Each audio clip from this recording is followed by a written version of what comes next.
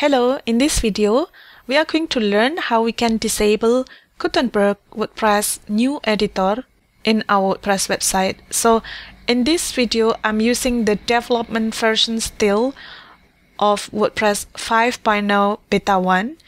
And uh, if now, for example, I'm going to uh, create new post and then we're going to click on the plus button and then post.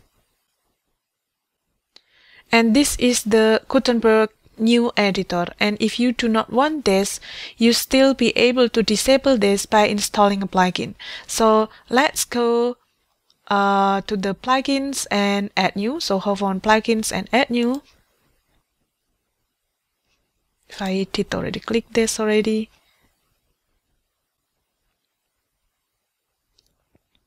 In the search plugins box, we're going to search for classic editor and we should see classic editor. And then we are sure that this plugin is compatible with our version of WordPress even though this site still using the 5.0 beta 1 versions of WordPress. And then it was last updated 9 hours ago. So let's click on install now button to install this classic editor plugin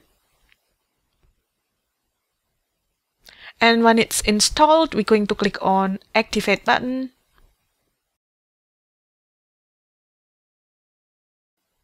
So once the plugin is activated, we're going to see uh, in the activated plugins page, which was called Classic Editor. There it is. And we should see settings. So let's click on settings link. So in these setting links, uh, if we scroll up, we should see classic editor settings. So now that we have these options after activating the classic editor plugin, we now have the two options. First is replacing the Gutenberg editor with the classic editor by default, or if we want to use the block editor by default, and then include optional links back to classic editor. So what does these options uh, mean is that by default, it says replacing the block editor with classic editor.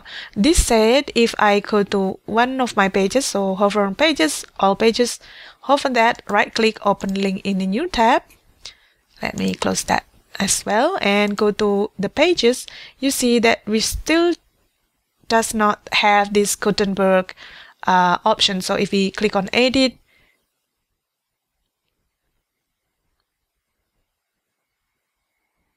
we're going to see the normal classic editor that we have or we had in the WordPress older versions before 5.0.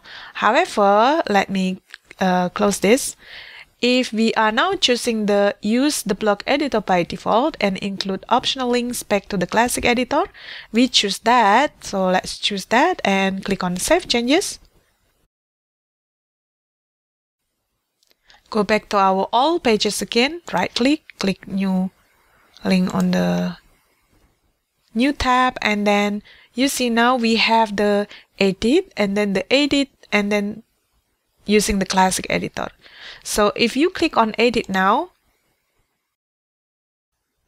and now I have an error here.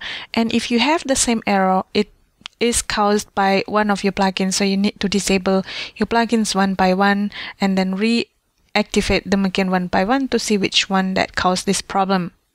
Alternatively, because we've installed our plugins, now you can use edit using the classic editor. So let's click edit using classic editor. Now you should be able to edit your post or page again and then you still have the uh, use as your plugin activated.